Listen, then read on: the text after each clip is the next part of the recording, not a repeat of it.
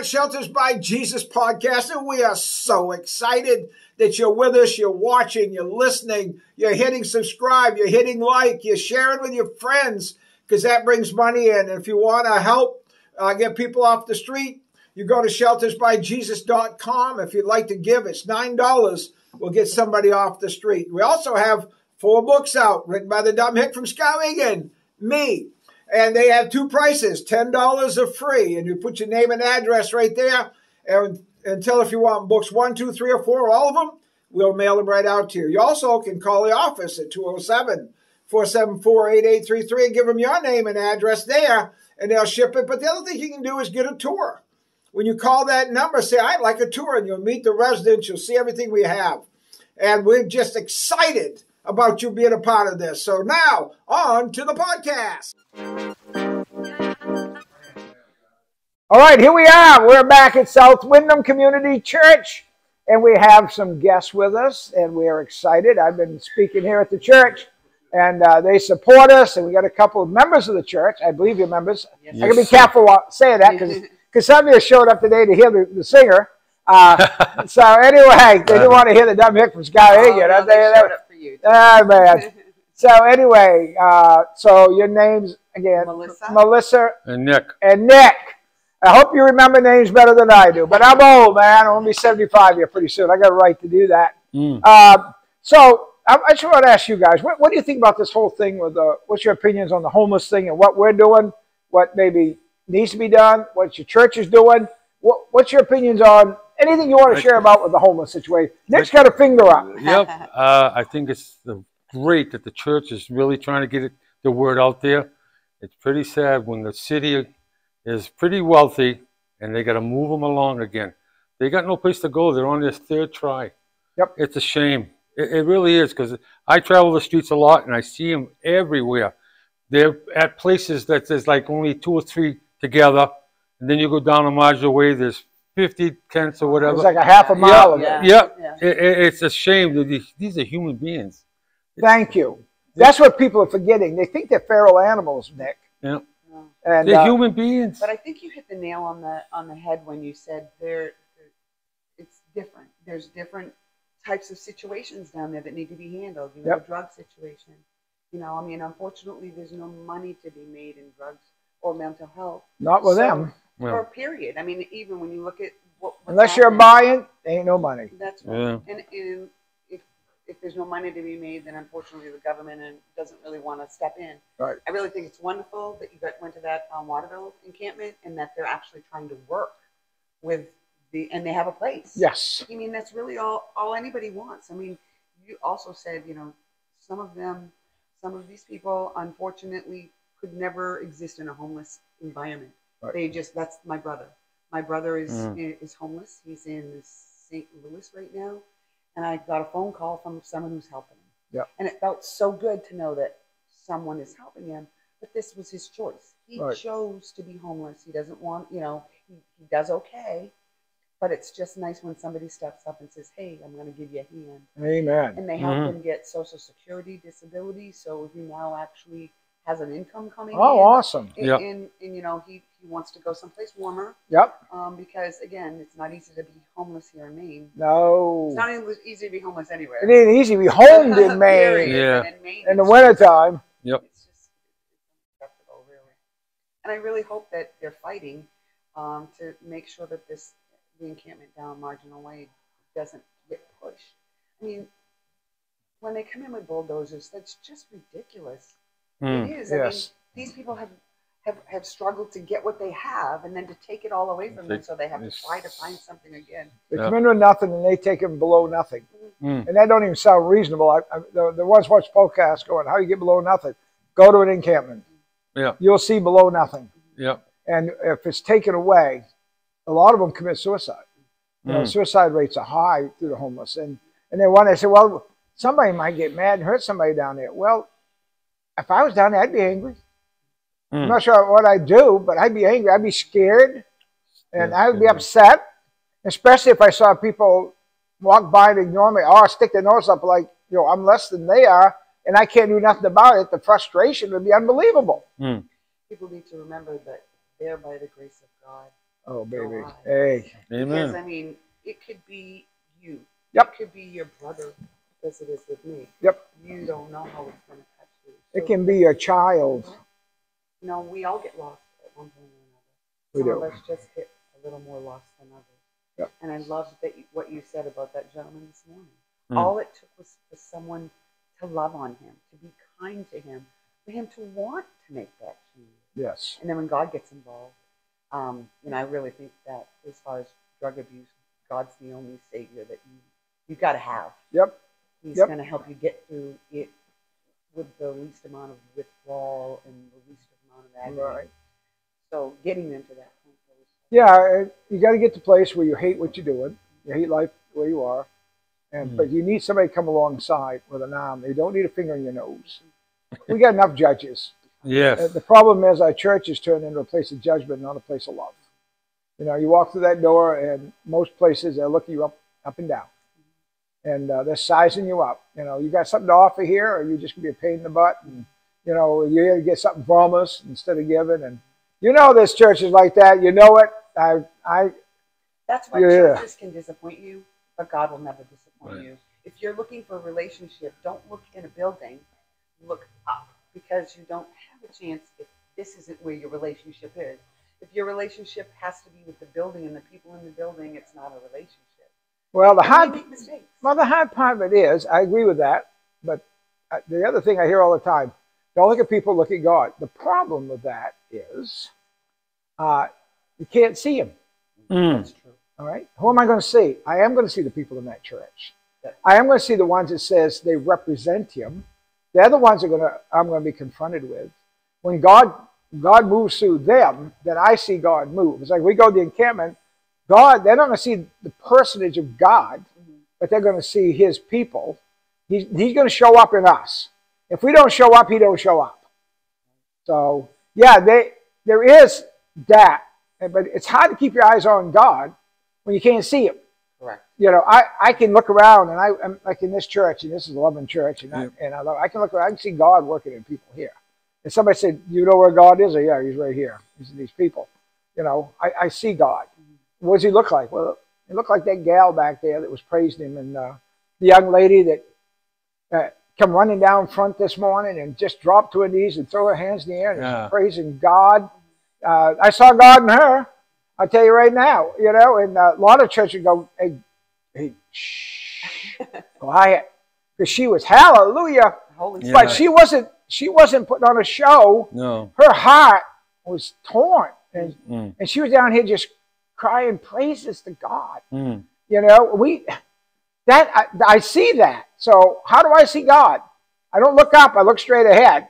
You know, I hit my knees. And I find God. But I look at I look at guys like you that come in here, and you got a heart for them. I see God. That's where I see God, and that's where those out there are going to see God. Nick, you had your finger up. Well, what what you're saying to is uh, over the years, I've had a lot of well, I've played a lot of sports, so I've got a lot of guys who say, "I don't believe in God because I don't see Him." I said, well, "Let me ask you." I said, "When you get in a book and you know about Ben Franklin, Abraham Lincoln, how do you know?" Well, I see the pictures. Well, you don't read the Bible and see the all the word in the Bible and the pictures in the Bible. It just that's how you learn. That- And it really frustrates me. Oh, I don't see him. Well, we don't see him, but you you, you can learn about him and through the Bible, and uh, it's like anybody else you don't believe in. Way back, way back in the Rome, the wars and all that. Well, they got proof of it in the paper, but we got proof in the Bible. Read the Bible. Okay. I, I, I go through that a lot. Uh, I, go with that. I love what Jesus said in John three. Yeah. He says, everybody says, "Well, I don't see the Spirit." right. Well, you're not going to see the Spirit. He's not visible. But he says, uh, Did you see the wind?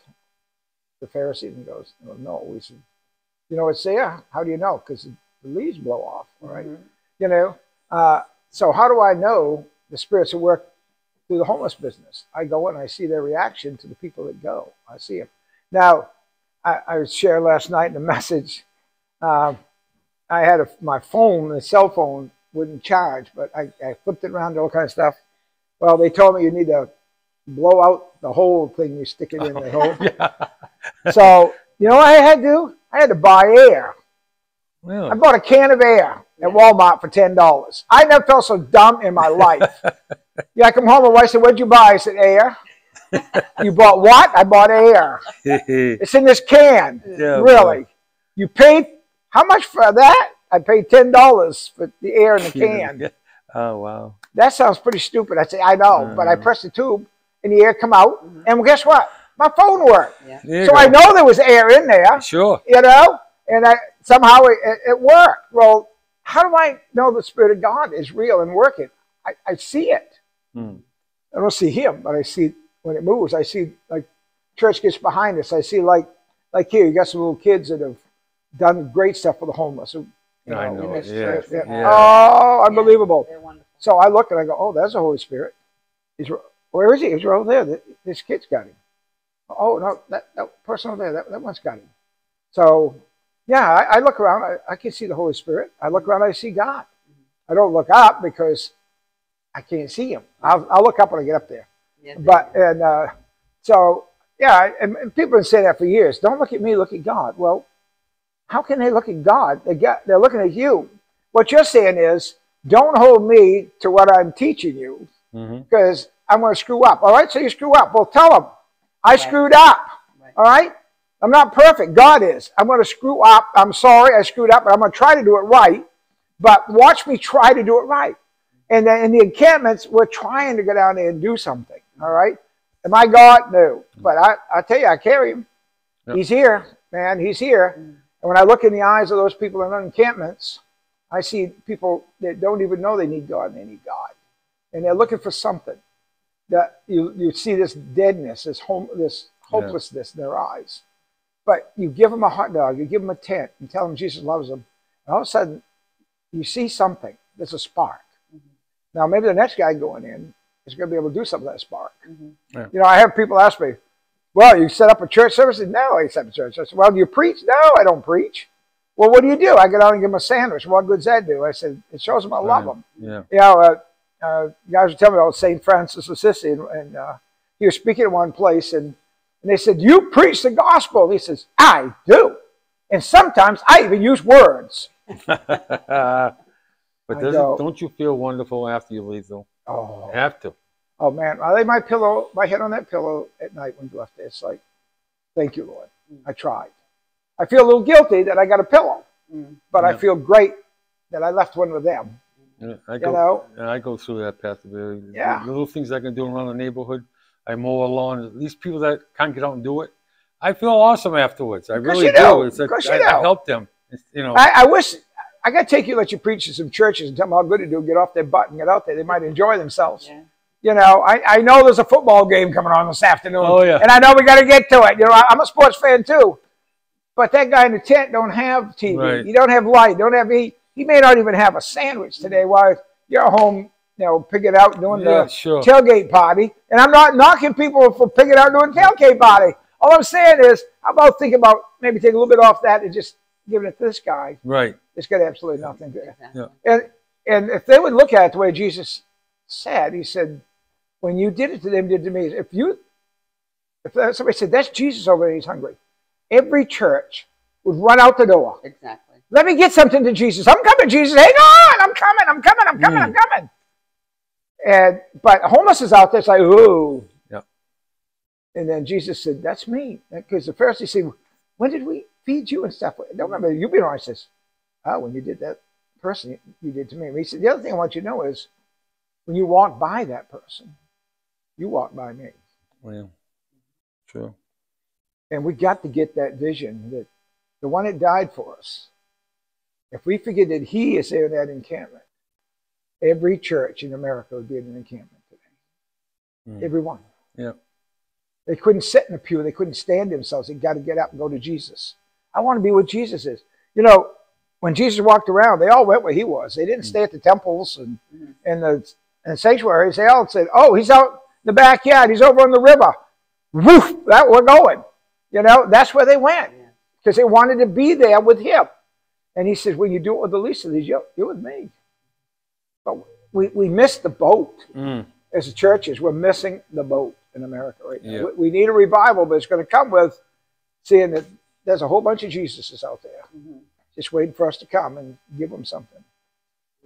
Because one day Jesus is going to say, How come you walk by me? Hmm. They were going to say, I didn't walk by. Oh, yeah, you did. I was in Portland. You remember me in Portland? I was that young lady there that was just shot up and, and needed help, and I'm crying, give me help. You just Hmm. walked away and looked the other way. That was me. Yeah. That was me. Yeah. You missed the boat, guys. But you're in a church that ain't missed the boat. This church is so supportive of my ministry. You're not, I know you're not supporting me, you're supporting the ministry of Jesus Christ, but I, I take it personal. All right? I feel like you're supporting the dumb hick from Skowhegan. Well, we feel really good to be able to support you. We feel, you know, you've really um, lit a fire under some people here. We've got Lee going out to the encampments. Um, I told him that Nick and I would like to go out with him. Yeah. At least, you know, once or twice just to, you know, he said he needs hands, all hands on deck. That's what you need. It's just, Mm. you know, he's, he's got people making stuff and he just needs people to hand it out Amen. and to be with him. God bless him. I talked with him. He's got a heart, man. Yeah. Big heart. He's got a heart. Yeah. Yep. Oh, praise God. Yeah. I, I want to thank you guys for taking this time and sharing on my Oh, it's my podcast. pleasure. it's been a We blessing. really appreciate you being And- here and we appreciate you having us. Well, and I thank like you. to say, Pastor Berry, I'm so thankful I found this church.